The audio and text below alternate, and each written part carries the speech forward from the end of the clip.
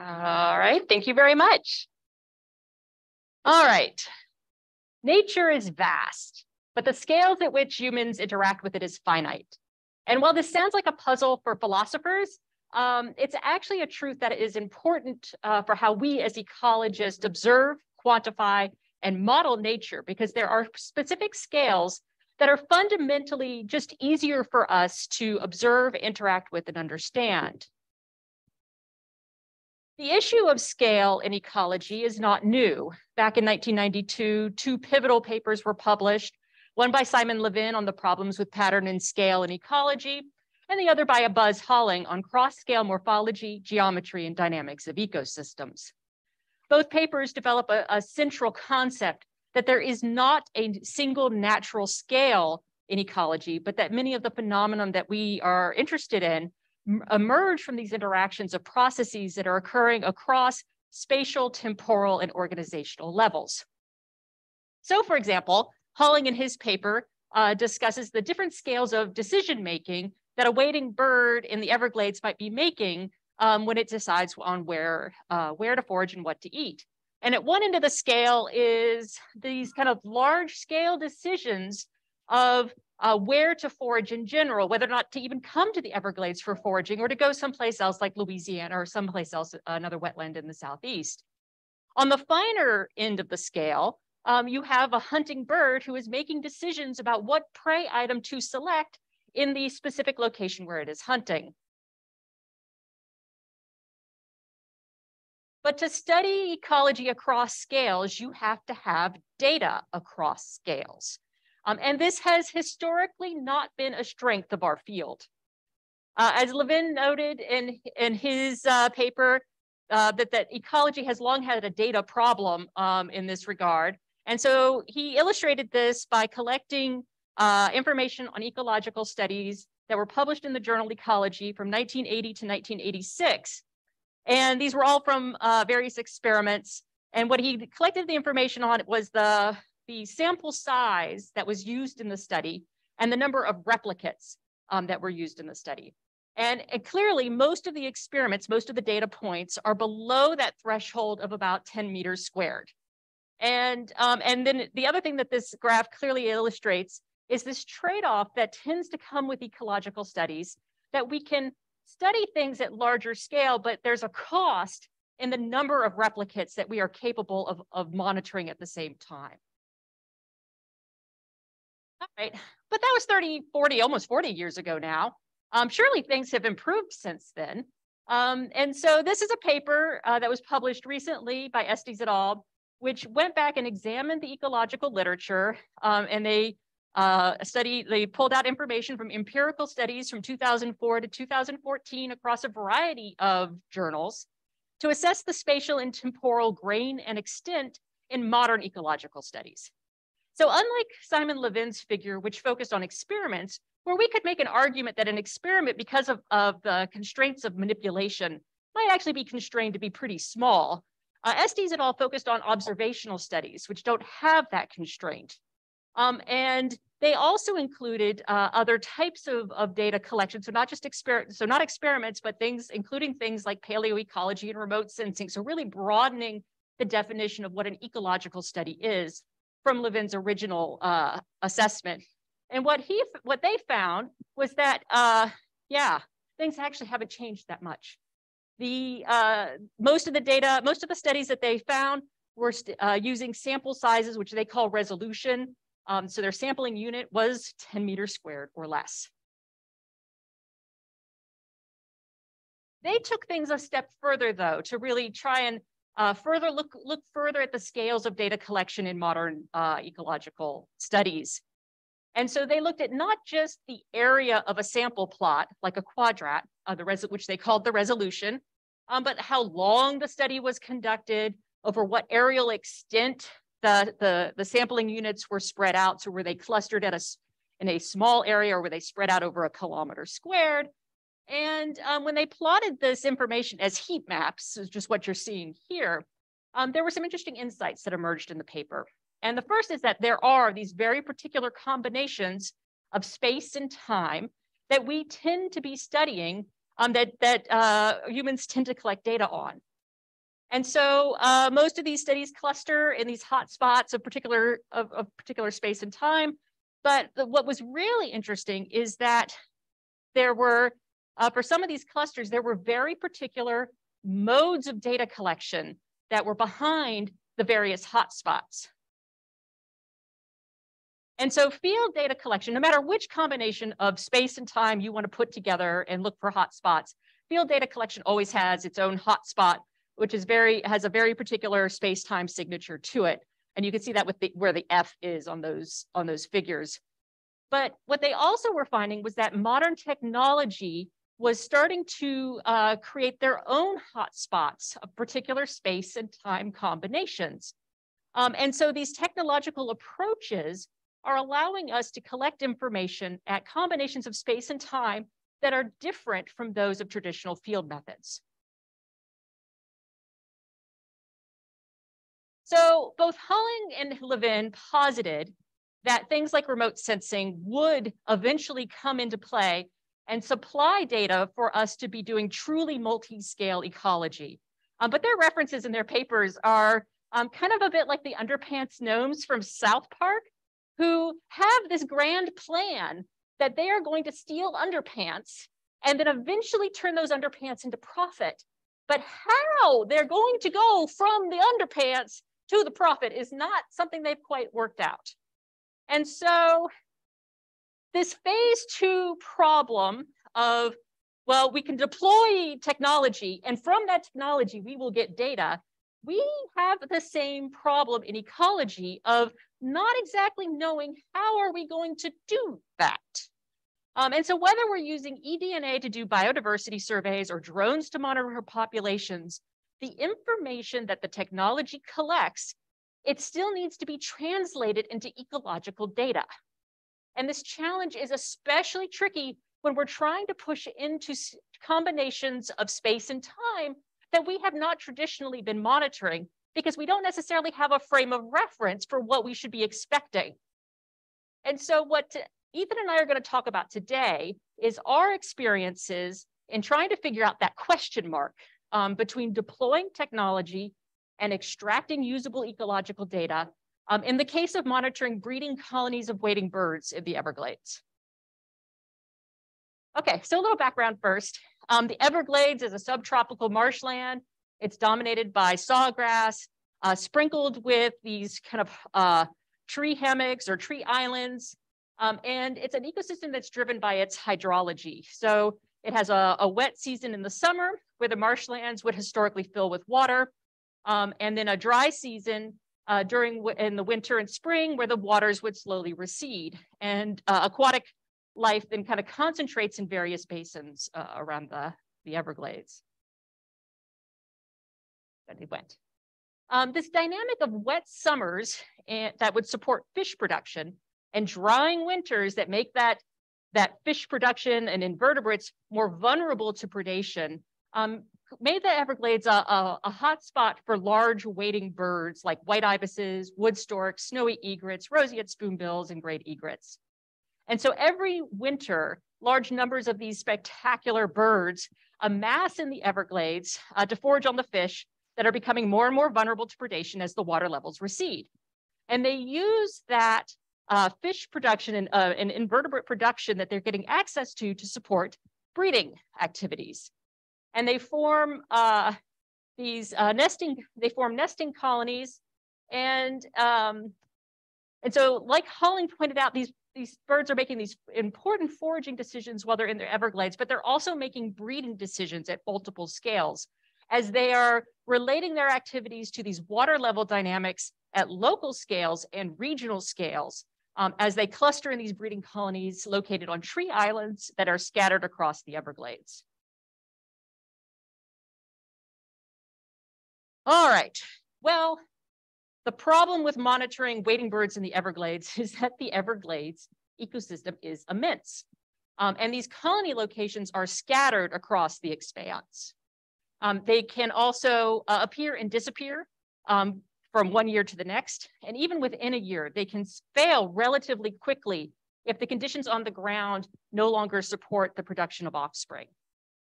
So this means that monitoring the presence the size of colonies, and the success of these colonies requires monitoring at a variety of spatial and temporal scales in order to really understand what's going on in the system.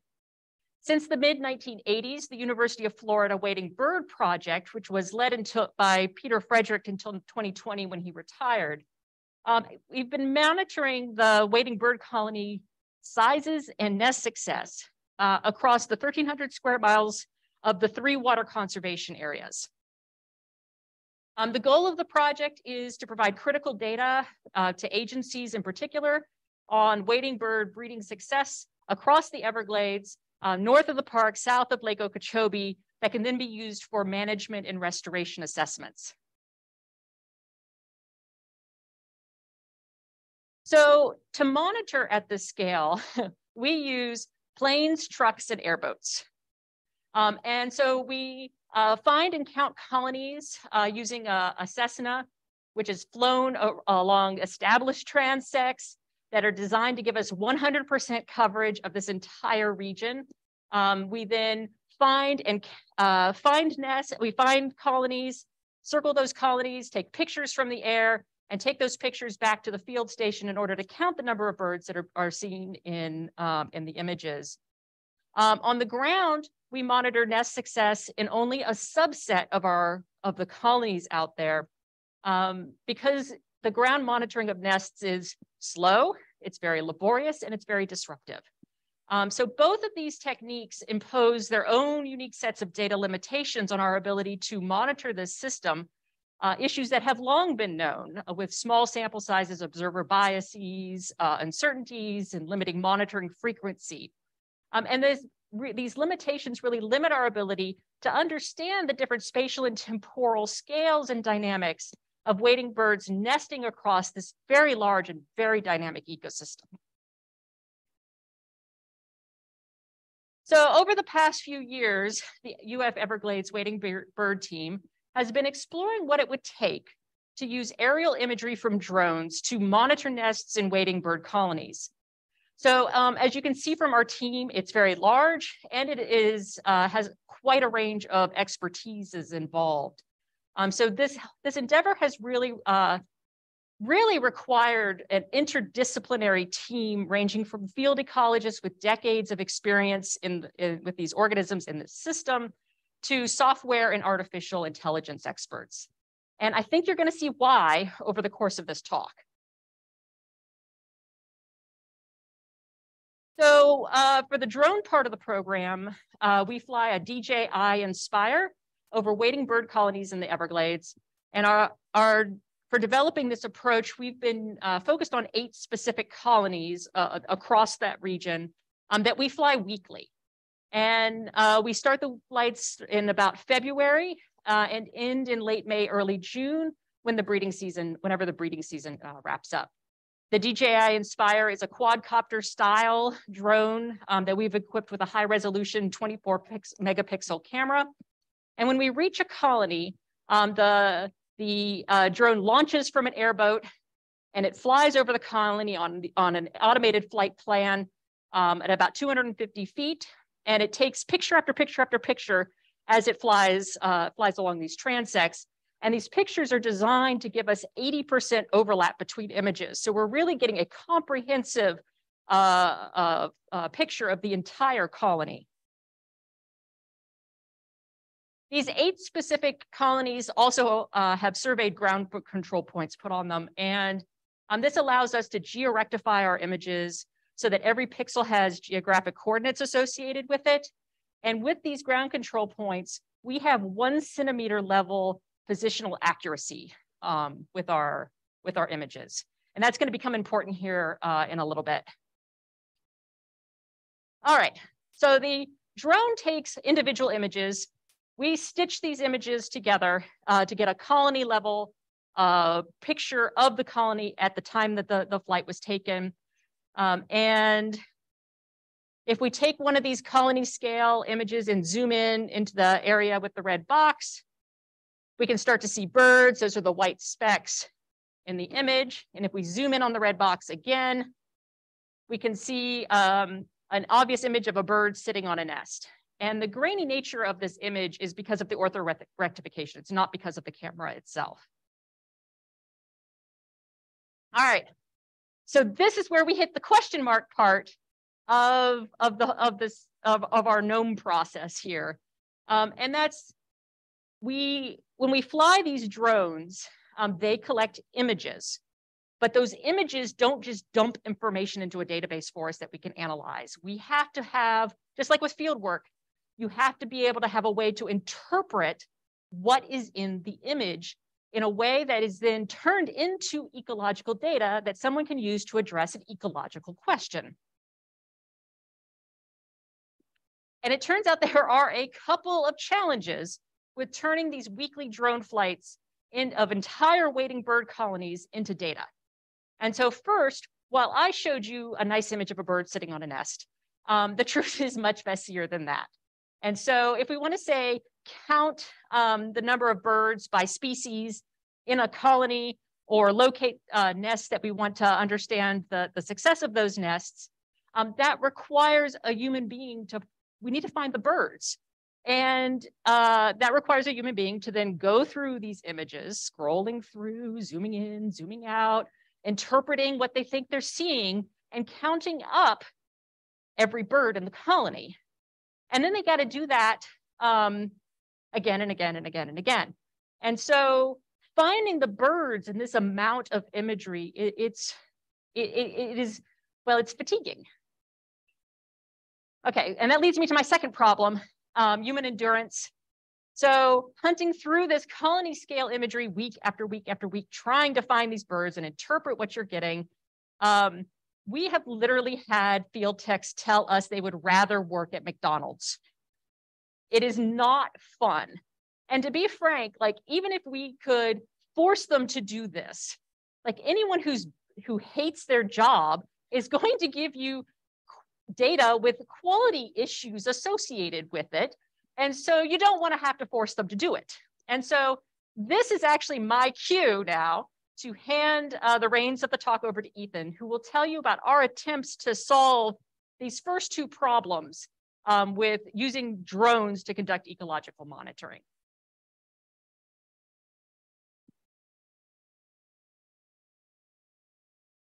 Don't worry. Yeah, Morgan will be back. Thanks, Morgan. So we want to be able to automatically find birds like this in imagery like this. But how do we do that? So most of the types of models that a lot of us are familiar with focus on very simple numerical representations of things. And that's true even for a lot of remote sensing models, which typically reduce the complexity of biology to the color of each individual pixel. And then we try to correlate that with something that we know about biologically. But when we're trying to survey organisms in imagery like this, it's more complicated. For example, we know these are birds not just because they're made up of white pixels. There are other white things in the Everglades. We know they're birds because they've got the right general shape. They have things that look like feathers. They have things that even look like heads. And so that's how we know that this is a bird. And in fact, we even know what species these birds are. These are great egrets. And we know that because of this distinctive feather pattern that we see here, and the fact that this is what a great egret looks like in breeding season. So how do we build models that leverage this kind of visual information that's intuitive to us, but doesn't fit well in our standard sort of approach to computational thinking? And the original solution was to figure out ways to encode the information that we knew as people was important, right? We see these feathers. How do we figure out a way to quantify that? And so, for example, there are ways to represent edges in images using differences between neighboring pixels. And so we can run one of those algorithms. This is a canny edge detection here. And we can then maybe add a feature to our models that is the number of edges and hope that the model can learn that that's something that we see a lot when we see great egrets. Which seems like a great idea, and this was the foundation of computer vision for a long time, until we remember that if we're going to do this in natural biological scenarios, we've got 11,000 different species of birds. And so if we want to solve the general problem, we would then have to figure out unique features that are going to work not only to tell us what all of these different birds look like, but then to be able to distinguish them from one another as well. And that sounds like it would be really difficult. And it turns out that it is. Which is why, starting about 10 years ago, a new solution emerged called a convolutional neural network.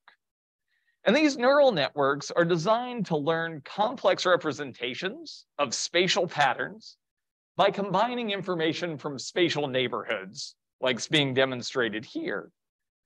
And that lets them learn spatially structured features like feathers, heads, feet, and other things that we associate with actual animals. And so in work led by the computer vision expert on our team, Ben Weinstein, who I believe came and talked to all of you a couple years ago, which was a lifetime ago. So if you don't remember Ben, that's okay. Uh, we've been working on using modern implementations of convolutional neural nets to approach this problem. For, are there any deep learning nerds in the room? Okay, for the one deep learning, two deep learning nerds in the room, Uh, we're using a, a RetinaNet 50 object detector here. Uh, this is a single shot, one shot object detector system, which means that we're fitting a single neural network that is both identifying where the birds are in the imagery and classifying them to species all in one go. This is primarily beneficial because it's fast. That's good for two reasons. One, we burn less carbon running the HiPerGator uh, to fit and make predictions from these models. Uh, but two, our long-term plan is to be able to deploy these on aircraft, making bird detections in real time. And so we have to have something that can operate as the plane is flying, doing detection on, on birds. This approach is possible to a, to a novel form of loss. So when we're fitting these kinds of models, during the fitting process, the model was measuring how well it's doing at predicting things. That's called loss. Uh, and uh, the RetinaNet approach is to use something called focal loss, which is cool because it overcomes a common challenge for organismal-based computer vision, which is highly unbalanced classes. So we have dominant species and rare species, and that's a real challenge for computer vision. Focal loss is designed to overcome that in a way that we can still fit these models relatively quickly. So to do this, we have to start by hand labeling a large number of images. So these models are really cool, but they're also really data hungry. Uh, and so a combination of our poor field team who wants to go work at McDonald's afterwards uh, and professional annotators uh, end up have now labeled over 50,000 individual birds for this system, right? So that's the scale of data collection that we're talking about here. We take those labeled data and then we fit these models on the new HiPerGator A100 GPU cluster. And then we look to see how well the computer does at mimicking a human's ability to find birds in an image. And we measure this using two major metrics in computer vision. Precision, which tells us what percentage of things the algorithm identified as a bird are actually birds, and recall, which tells us what percentage of those human labeled birds the algorithm actually finds. So they give us different parts of false positives and false negatives, basically. And given the current state of our work, uh, about 84% of the birds labeled by the algorithm actually match a human label, and the algorithm finds 87% of those human labeled birds uh, occurring in the landscape. And in general, we feel really good about these numbers, not because they're fairly high in general, but because when we dig in and look and see where they're going wrong, they're not going wrong on these nice, obvious birds over here on the right. The algorithm's getting things wrong when it's part of a bird sticking out from under a branch. And this is an inherently hard problem even for a human uh, to detect. And for those paying close attention, there's actually a couple of cases in this labeled image on the right where the human actually missed the bird because humans get tired even when they're working on these small crops, which are way easier than working on a giant colony's worth of data. So those are our usual computer vision metrics, but we don't really care about computer vision metrics if we're trying to do sampling at scale. We care about the kinds of things that we count in the field, which is how many birds are we actually counting. And so here on the x-axis, we've got the number of birds counted in an image by the algorithm. And on the y-axis, the number of birds counted by the human and the one-to-one -one line where they're exactly the same. And so we can see that algorithmically, we can do a really good job of counting birds uh, in general. But how do we do at identifying them to species? This is a harder problem. The answer is we can do quite well in general. So these are these same two metrics as before. Uh, at the top, we have the most dominant classes, the ones that we have the most data for, uh, and we do very well. Like if we say it's a white ibis, it's a white ibis, and we'll find all of the white ibis. And the same thing is pretty much true for great egrets and to a first approximation for the roseate spoonbills. Things get a little worse for the less abundant classes at the bottom. And it's important to solve these problems because we really need to be able to monitor these. And so we need to understand what's going on with them. The snowy egrets are going to be a hard problem. There aren't very many of them, and if you look at them from above, they look exactly like a white ibis. They're the same size, they're the same color, they're the same shape. This is gonna be really hard. Uh, I'll mention at the end, if we have time, some of the directions we're going to address that problem. Uh, great blue herons, not as many of them again, but they're also a very dark colored bird, and so they tend to blend into the landscape really well. And so that's why we tend to miss more of them and recall is low. And then wood storks are probably the most interesting thing because as Morgan mentioned, we have to assemble thousands of photographs per drone flight into a single giant image before we work right now. And that generates artifacts and imagery. And it turns out that these artifacts tend to coincide with wood storks which seems funny, but the wood storks like to nest at the top of the canopy, and big height differences from the ground to the top tend to cause orthomosaic uh, issues. And so this is an ongoing problem. Uh, one of the things we're in the process of doing is exploring the ability to actually do all of our machine learning work on the raw imagery and then port those labels back and forth into that orthomosaic representation which would solve this problem because wood storks are really obvious. Like it's a big bird, it looks really distinct. The computer's problem is not being able to tell them apart, it's being able to deal with that squish. The good news is that even with some of that uncertainty associated with things, we're still really good at counting birds by species. So we've got the same basic graph as before, except now each point, instead of being the total number of birds as an image in an image, the number of birds of a particular species in that image. The gray dots represent all of the data, uh, and the black points uh, highlight that particular species that's present there. And so when we have a lot of variation in abundance, like with white ibis, we can do a really good job across the range, uh, but some things are just quite rare. And so they're still clustered around the one-to-one -one line, uh, just tucked down in those rare corners.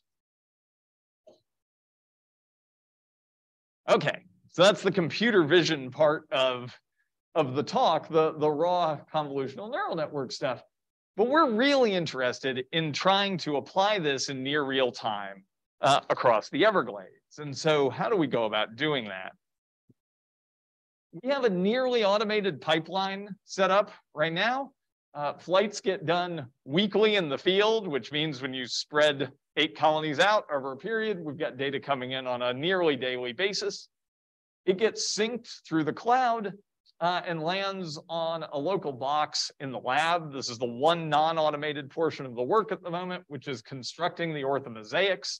We would really like to get that fully automated, but there's a couple of steps in there that currently require a human. It then syncs straight over to uh, the HiPerGator, where all the computer vision work that we've talked about so far and all the computer vision work that Morgan's going to talk about again in a minute gets run. Uh, and then things get synced off to, to present results uh, on a website. And so it's going to take one minute here.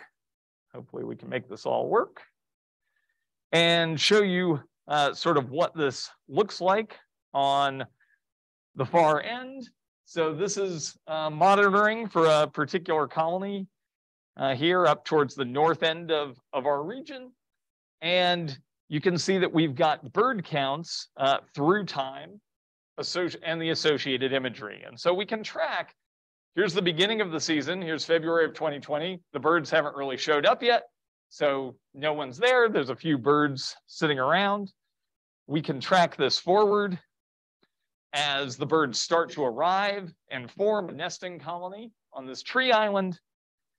And then by the beginning of March, they've generally reached peak numbers for this year. These are the birds that are going to be here and going to be nesting at the site. And we can zoom in and look at what the model is doing in terms of its predictions. And so here we can see a couple of roseate spoonbills appropriately labeled. They're pink. They've got a nose that looks like a spoon. This is classic, like the model's gonna do good here, right? It's, it's got what it needs. Um, we've got a great blue heron down here. You can see they're darker. They tend to blend into the background more, so they're a little harder, but we've gotten this one, no problem. Uh, and we can scroll up a little bit and uh, see some of these uh, great egrets that we were talking about uh, at the beginning. You can also see we've missed one here. We're not perfect. Actually, the model is seeing this bird. This is a non-max suppression issue for folks who know about this sort of stuff. They're too close to one another. And so there's some challenges technically with how close things can be and whether we call them one or two. Uh, we're still playing around with those. Uh, and so with that, I'm going to hand things back to Morgan to, there we go. talk about how we actually start doing biology and not just numbers.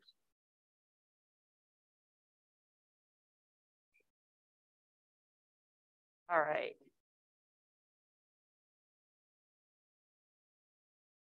Excellent. All right, so now we can deploy a drone in the, in the field every week. Uh, we can take colony scale imagery that we can then uh, get processed uh, by the computer into these weekly counts by species for an entire for an entire colony. And some of you right now might be realizing that I kept talking a lot about nests in the first part of the talk, monitoring nests, nest success. And all Ethan has talked about is finding birds. And birds and nests are not necessarily the same thing. Now, uh, we can uh, we, if we assume that every bird that we see in one of these colonies is sitting on a nest, then we can come to a rough approximation of the number of nests that are in this colony. And given the biology of a lot of these birds, it's probably not a bad first approximation, um, but that doesn't get us to nests. If we, especially if we want to do things like uh, follow the nest success of, of, of nests located on edges and centers of, of colonies or between different colonies, we need to be able to know that what we're looking at is an actual nest that is being tended to that can be tracked through time and not just a bird sitting on top of a uh, on a branch and on the top of their colony surveying the beauty of the Everglades. All right, and this is where teams that integrate biological knowledge to figure out how to do these kind of translations of information that is coming back on through drones and through imagery into actual data that can then be uh, used for analysis. And so um, we have been developing an approach that we lovingly call bird, bird, bird in order to find, in order to find nests. Um, and this approach leverages and integrates biological knowledge with technical know-how um, and our centimeter scale positional accuracy that I mentioned earlier in the talk. And so because these nests do not move through time um, and birds spend a considerable amount of time on the nest tending to eggs and nestlings, um, we can use repeated bird detections at a, the same location in order to identify nests, or at least that's the idea. So in this series of images that I'm showing you, it's the exact same location. And what you're seeing in the, with the red circles are bird detections. And so uh, in the blue circle, there's been a bird detection, a bird detection, a bird detection. It doesn't catch it at the end, but there's been three bird detections, bird, bird, bird. And uh, our algorithm would say, we have found a nest at this location. It would also say the same thing for that the bird off to just outside the ring. Bird, bird, bird, that is also a nest, and it is a separate nest from the one that's inside the ring because of the, the distance. And this is the, the non-max suppression that Ethan was just talking about. Uh, when they get too close, we don't know if it's just a bird on a nest that's slightly off or two separate nests. Okay, so this is a great idea. We've been assessing whether or not this is, is actually a great idea in practice as opposed to just uh, conceptually. And we do this by uh, giving a human being a time series of images from a randomly chosen location in a colony, and then letting the person scroll through the series of images and assess whether or not they think a nest is, it has been present at that location.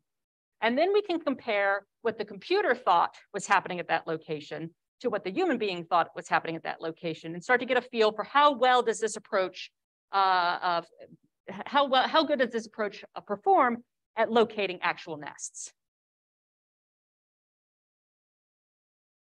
All right, not the prettiest graph, but it'll do. So we've examined about 600 different locations across six different colonies uh, in 2020 and 2021 so far. And these colonies span a range of species compositions and sizes.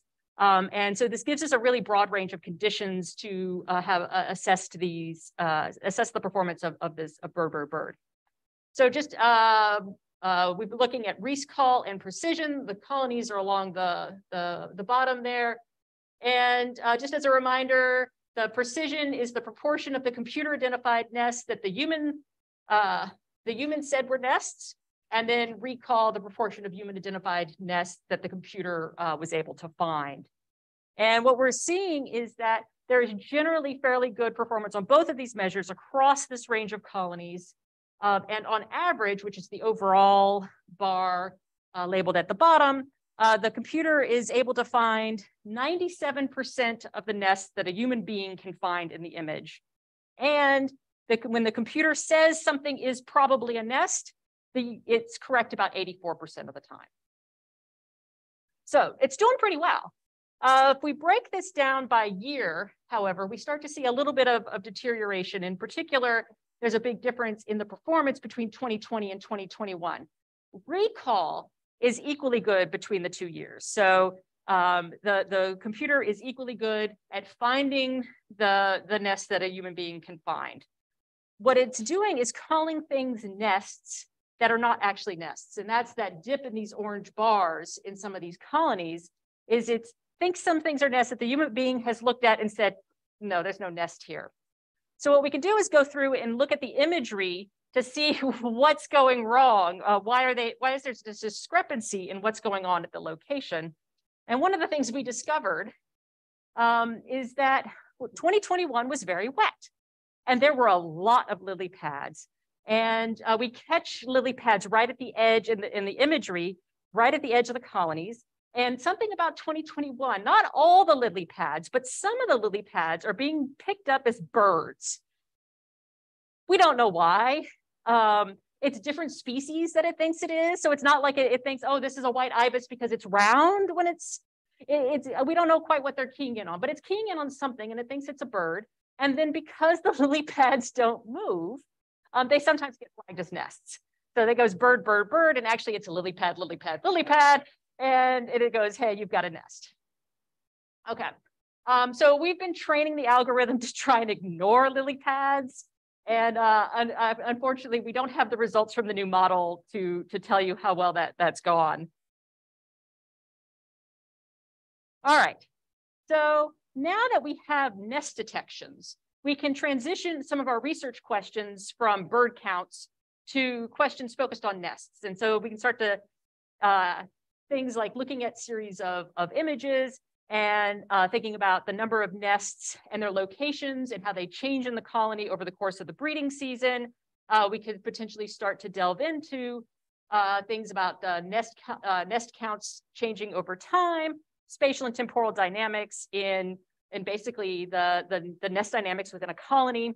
And we're not ready to automate nest success yet, um, but that is definitely on our list. And one of the ways we think we can do it is again, returning to the biology of the species involved and seeing if we can extract information that can at least serve as a filter for whether or not a nest was likely to have been successful or not. So for example, here's a nest identified by our detector. Um, on 315, the drone goes over. There's no sign of activity at the site. There might be just the start of something, but there's been no activity before this time. There's nothing clear in it um, at 315. The drone goes over at 322 a week later, and there's a bird sitting on a nest. The next week, a bird sitting on a nest. The next week, there's a nest, which you can just see. I don't know if I can direct you. There we go. And two little round white things, which are eggs, sitting in the nest right here, and adults sitting to the side. And then by 413, there's no sign of anything. And then after every flight after this point is there's no there's no activity at this site, no sign of a nest, nothing. And so this is the time series that we know that we have information for. And that was if we assume that the nest started the second after the drone flew over on the 15th, and that the nest failed right before the drone flew over on the, on the 13th, then that gives us 29 days of activity. So what do we know about the biology of great egrets? Well, biology says they need around 24 days to incubate their eggs and that the young can leave the nest starting at about 21 days. Now they're not flying, um, but they roam around the canopy like teenagers at the mall. Um, and, and so you, you can't rely, they won't reliably be found in the nest. And that's a problem for our ground monitoring, not just for the drone monitoring. Um, so this means that we expect to see something in a nest or an adult tending a nest for about 45 days. And so this says this nest should not have been successful because it did not didn't stay active long enough for it to successfully uh, rear an offspring. Obviously, it would be nice to know whether or not that's actually the case. And this is where our ground monitoring comes in really handy. Um, and so what we've been doing over the past year is having the ground crew move in. So they're monitoring specific nests that they're going in week after week after week and staring with their little mirrors into the nest and seeing what's going on. And so at the when the when the nest is no longer active, they move in, they put a brightly colored piece of, of paper on the nest or very close to the nest um, and then fly the drone. And so now we know the location of particular nests that they have been monitoring and what has been happening at that nest location. I can't show you any data from any of this now, but I can tell you that for this nest, what they have in their notes is that they they actually were pairing their their visits right with the drone visits. So they visited on the, the 15th, there was nothing there. The 22nd, they show up there's actually a bird on a nest. They flag the nest. They do these transects over and uh, every week. They do the same transect. So they come along on the 22nd. Suddenly there's an active nest there. They flag it. They start monitoring it. The 30th, the, the, the nest is active. It's got two eggs in it. The, the, the sixth, active, two eggs in it. They come back the 13th and the nest is empty. And so they, and then, and then they classify this as a failed nest because after that, that nest decayed. There was no evidence of anything going on. Um, and uh, there you have it. So there is at least some potential here for being able to use this length of activity from the weekly drone flights to be able to at least get a filter for what proportion of the nests are at least lasting long enough to uh, give offspring, to, to produce offspring, and then being able to look at how that changes over the course of a breeding season. So to summarize um, the Everglades work to date, um, over the past two to three years, we've gone from flying drones and wondering what are we going to do with all this imagery um, to having the computer now be able to uh, find and identify birds for us, to use those bird locations to identify nest locations, And this already lets us do things like uh, look at the number of birds or nests over the course of a breeding season and sets us up to move into areas of uh, doing colony scale assessments of nest success throughout the breeding season and start to look at things within colonies and between colonies uh, on, on how well uh, these birds are doing. All right, and with that, I will let Ethan wrap it up for you.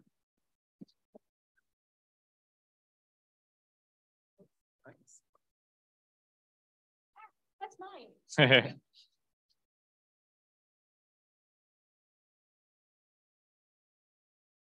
uh, and so just very briefly, uh, one of the things that we're interested in, because we've been so successful at doing this in the Everglades, is how do we facilitate this more broadly? Because you don't want to have to put together a giant team to do this for every single airborne survey. And fortunately, these kinds of methods that we've been developing are known to be good at what's called transfer learning. So they're functionally good at working in new systems with relatively limited amounts of additional data because they learn things like feathers and heads that generally transfer to other systems. And so we've looked at this by pulling together data from a dozen other studies and training the models on everything except one study at a time and looking to see how well can that model actually work with no information, no training data about the particular birds and background that have been looked at. And here's just a couple of examples.